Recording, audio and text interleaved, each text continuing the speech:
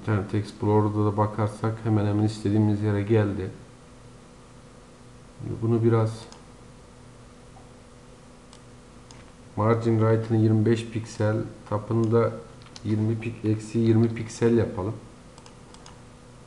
İnternet Explorer'da tekrar bakalım.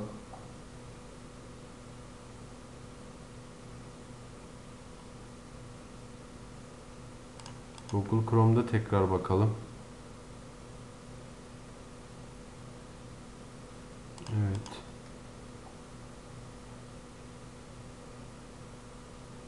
Evet, gayet güzel. Şimdi margin tapını eksi 30 piksel yapalım bir. Bakalım Google Chrome'da. Google Chrome'da yukarı çıkmıyor artık. Mozilla'da bakalım. Margin tab eksi 30 piksel. Mozilla'da da aynı. Buradan bakarsak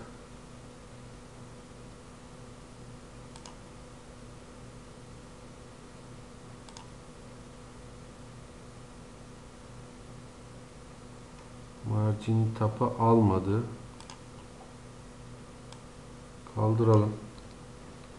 Padding tab vermişiz. Biz margin tab verelim. Margin tab eksi 25 piksel diyelim. Tekrar F5 diyelim. Eksi 25 çok fazla geldi. 15 diyelim. F5 diyelim. 15 de fazla biz 13 diyelim. Tekrar bakalım.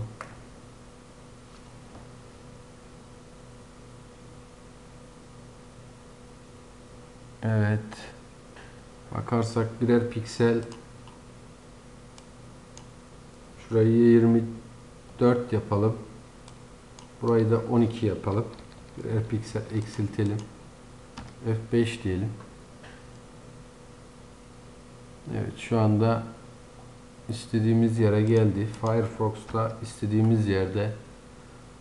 Google Chrome'da bakarsak istediğimiz yerde. Internet Explorer'da bakarsak istediğimiz yerde. Hemen ileri butonunu da yapalım. Left'te öncelikle right yapalım. Böyle bir deneyelim.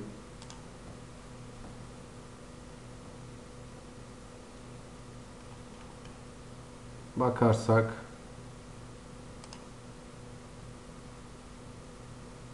orayı right yaptık.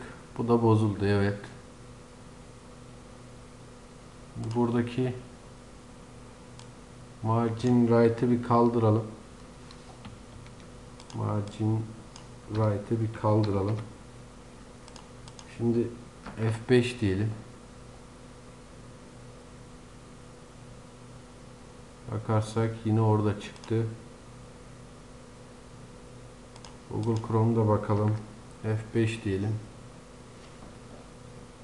Şimdi bakalım. Orada çıktı. Gayet güzel.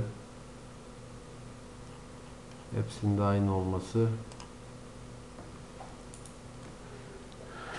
O zaman margin right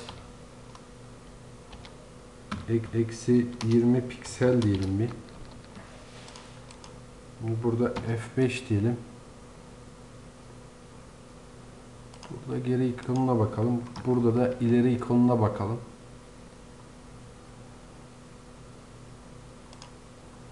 Yirmi pikseli 40 yapalım. Kaydedelim. F5 diyelim.